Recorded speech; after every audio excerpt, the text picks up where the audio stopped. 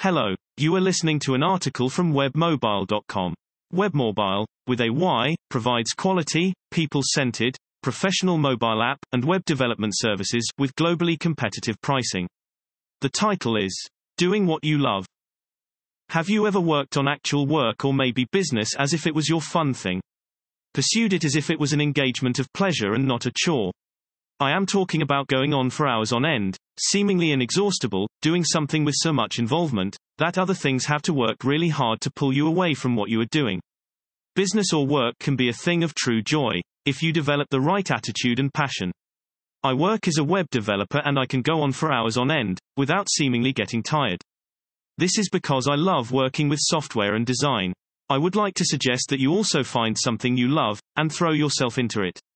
You will be amazed how much you can do without the need to summon a special kind of will, if you truly love whatever it is you are doing. Finding something you truly love is the key source of passion and drive. The beauty of working on or with something you love is that it can be a source of passion. Because you love it, you can perform incredible feats of endurance. You can work on any given task regarding your interest for hours on end. I cannot explain the extent of energy that flows through me when I am working on my passion. Passion is something that develops with commitment. I did not just wake up one day and started enjoying what I do. I believe there is a minimum level of commitment that has to go into an activity before passion is ignited. You have to put in the bare minimum before an activity has the kind of impact I am talking about on your life. It is essential that you have passion as well as drive and set realistic time-bound goals for yourself. Developing passion and drive is much easier when you are doing what you love, because when you are doing what you love, you develop the resiliency and tenacity that sets you on the right path to achieving your goals. The pressures of life. You might say, wait a minute, life throws stuff at you that makes it impossible to do what you love. This is partly true, and I say partly because, I believe we always have a choice. Yes, some choices are harder than others, but ultimately we are responsible for making those choices. You have to understand that doing something you love does not mean being reckless and living irresponsibly. It does not imply that you have to quit your job in pursuit of what you love, without weighing the consequences. If you can't quit your job at the moment to pursue what you love, what is stopping you from doing what you love as a side hustle?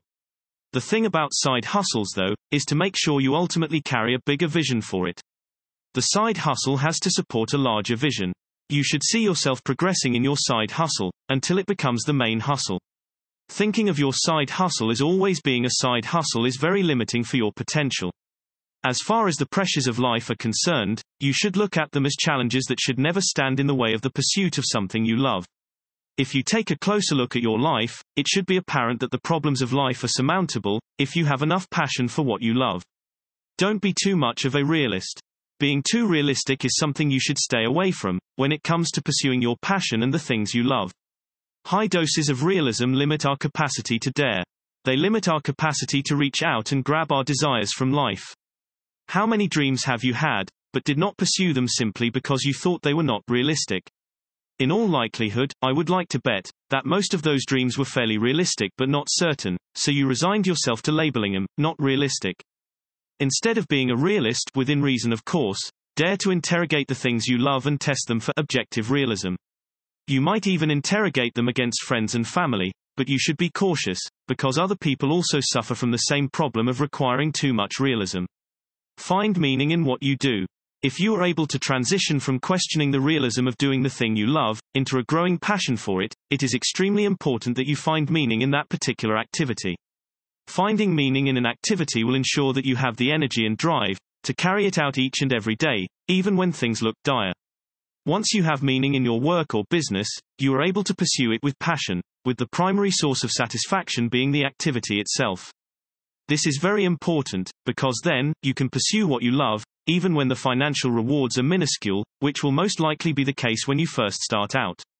Finding meaning in doing the thing you love, and having the courage to see it through, are the necessary fuel that will help you succeed. Know yourself and learn to love what you do. Finding something you truly love may not come easy, it is likely going to take time, and possibly many tries. If you are lucky, however, you will quickly find your passion, and make the best of pursuing it. What makes this complicated is that apart from taking a while, you might not recognize your passion when you find it. Maybe another way to look at it is to ask if you are putting enough time into learning to love what you are already doing, instead of seeking something new. You have to remember that even for people who love what they do, and are deeply immersed in that activity, it is possible that it was not always that way. They possibly discovered the activity, and then grew to love it.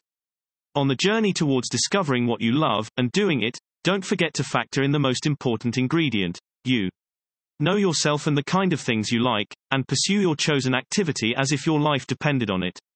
Be immersed in the activity you love and the rewards will be more than you can imagine. Want to know when a new blog post is published?